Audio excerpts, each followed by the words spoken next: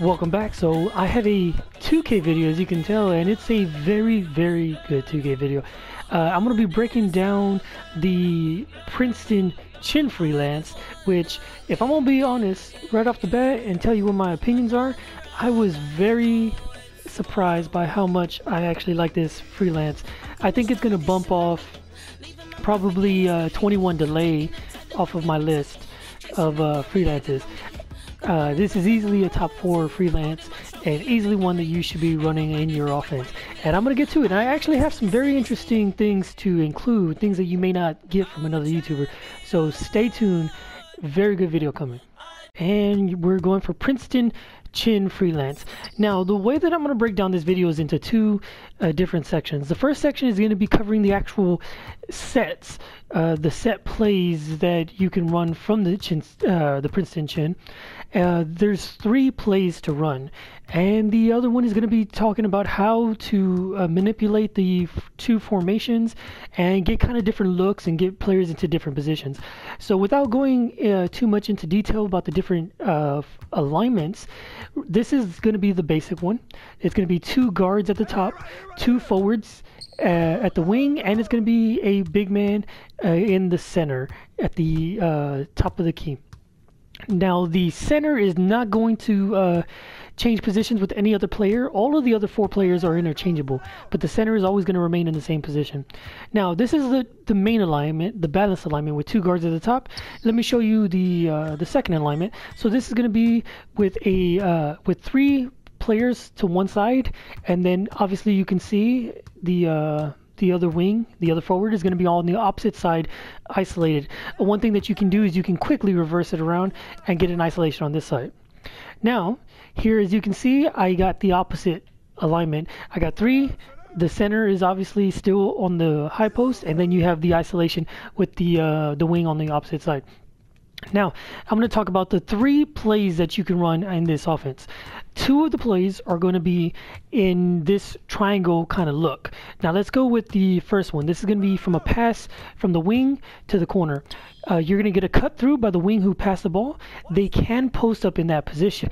So now I have my triangle on this side. So from the triangle, pass to the corner, cut through, possible post up action. Now I'm going to get a back screen right here, also possible post up action. Now I'm going to get a down screen, and then from there into a pick and roll. So almost everybody is going to get involved into this particular play. The only one who doesn't get involved is going to be the uh, the person in the corner. The person in the corner is going to be the one passing the ball. So you have a cut through and post up by the wing, a uh, down uh, a back screen and post up by the person at the top, and then a pick and roll option with the person isolated on the weak side. So let me show you one more time. Here's the cut through. He's going to give you a post up option, back screen, post up option. He's going to stick around there. And then here comes a down screen. I could have passed, uh, shot it, but I can also go pick and roll as well. That the second and third plays are both uh, initiated in the same manner. It's going to be with a pass to the uh, to the center in the top. Okay, so here's from the triangle, and here's the pass to the center of the top. You're going to get a cut through, possible post up, and one thing that you can do is you can swing it across and enter the ball in through the post this way. Let me show that one more time. So from this position, once you enter the ball, the trailer is going to cut through, and you can sneak the ball in from the left side and if you can't find a window, you can swing it and find a window from the opposite side. So basically, it's going to be a high-low and inside-out kind of look here. From the triangle, we're going to enter into the post. There's the cut and post up option. We have a down screen, which we can shoot or go immediately into another pick and roll.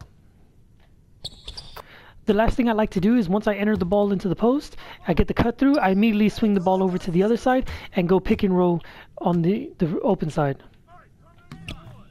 In this position, what we're going to do is with either guard, it doesn't matter which one, and I can't find an example where it affects it. From either guard, we're going to enter it into the high post again. Um, and this is going to trigger the floppy set. So it's difficult to determine who's going to get the ball, but what you're going to have is a double down screen and a uh, and somebody pulling out. Now this play is generally going to be for one of the two uh, guards at the top. So here you go, entry pass again. Tim Duncan is playing in one of the guard positions, but here he receives the double down screen, and then I can get that uh, switch that I want. So now I want to talk about the actual alignments.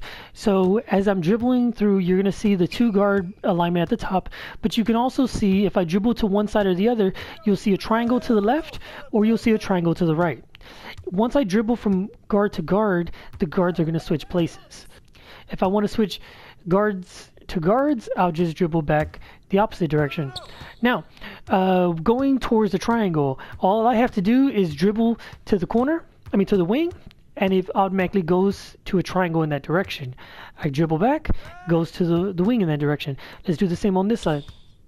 This is a triangle to the right, and then we're going back to uh, dual guards at the top.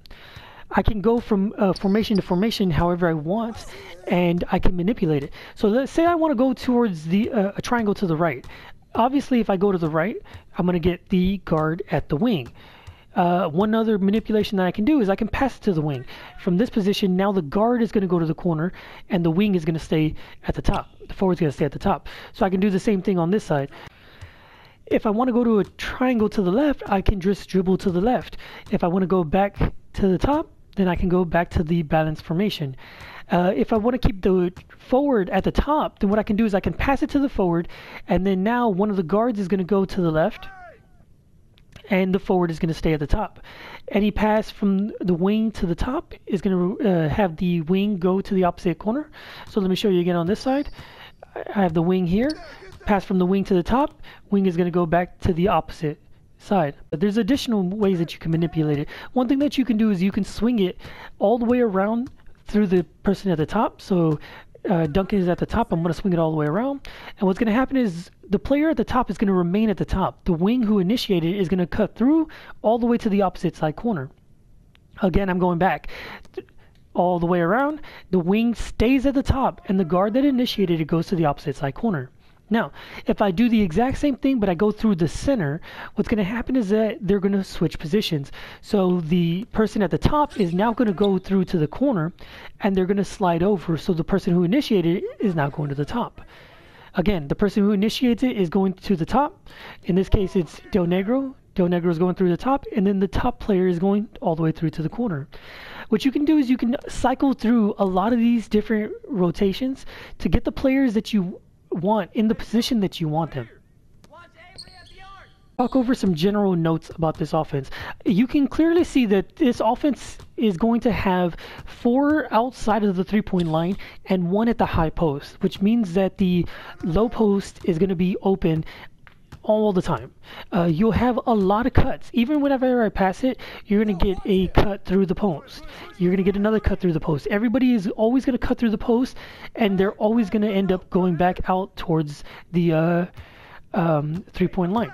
If you pass it twice around, you're going to get a cut through with the down screen he's going to try to post up and then cuts through to the corner. Again, you're always going to have that paint open, and that's one advantage of this offense. You get a lot of cuts going through the paint, and if you decide uh, to post up, you're going to have good spacing. Another thing is you're always going to have a big man towards the top of the key. And uh, say, for instance, I wanted to post up on Duncan.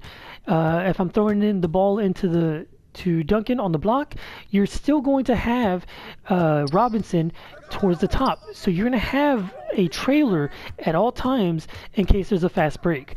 Uh, you'll be able to have a big man to defend the paint. That's one of the advantages of this offense. You're going to have really good spacing, and you're going to always have a big man back to protect the uh, the rim in case there's a fast break the last advantage is there's really only three sets that you can run. You can enter it in from the uh, from the top, you can enter it in to the post from the wing, or you can pass from the wing to the short corner. Those are the only three plays. Uh, once you understand very well how to run these sets, you throw in some pick and roll. What you can have is a very good understanding and very good spacing and all the rest that you need to do is be able to manipulate how you want them to align. You put them in the correct position that you want them, and it appears to the other team as if you have a large, large playbook, a lot of plays that you can call, but you're just putting players in different positions. I can have uh, the the forward at the corner. I can have him at the wing. I can have him in the pick and roll. However I want to do it. I have so many options available to me. Uh, last thing I'm gonna do is just end with uh, some gameplay of me taking out into a game. Honestly, like I said, this is gonna be one of my favorite offenses to run. I really like it. I hope you enjoy the gameplay. High post Davis. Inside. Here's Westbrook.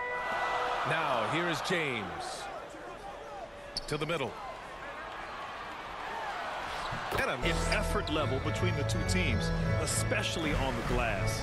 You know, you can't allow that mid to the outside. Here's Reeves. Inside. And unable to get that one. And Los Angeles the other way now. To the outside. Right side Johnson. To the middle. Here's Davis with the second effort. It comes to social issues. Fortunately, he has no intention of standing on the sidelines. Back to Howard. Oh, good by Golden State. And it's the Lakers on the break. Pass to Ariza. To the inside. Just five on the clock. Inside. And he floats it in. The ability of Steph Curry. Not just a shooter. He's skilled at spotting open guys. Pass to Davis. To the middle. And it's... So as you can see, this offense has a lot of movement, a lot of passing, some decent spacing. Uh, the three main sets are very good at getting all of the players involved. So you're able to do quite a bit with this offense, and I'm a really big fan. If you'd like for me to actually uh, feature some more gameplay, uh, maybe do a stream or something else, or if you have any other requests for different freelances, just let me know in the comment section. Thank you for watching.